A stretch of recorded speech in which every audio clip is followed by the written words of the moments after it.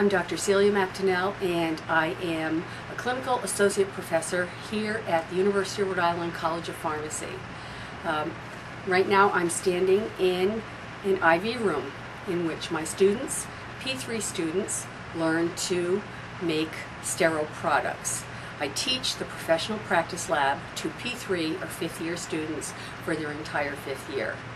Um, my first semester, I focus on community practice, in which they take information that they've learned through the teachings, through therapeutics, and through medicinal organic chemistry, and a variety of their other subjects, in which we put them into practice. They'll learn how to speak to patients about using inhalers, how to draw up insulins. Um, they learn an awful lot on patient communication.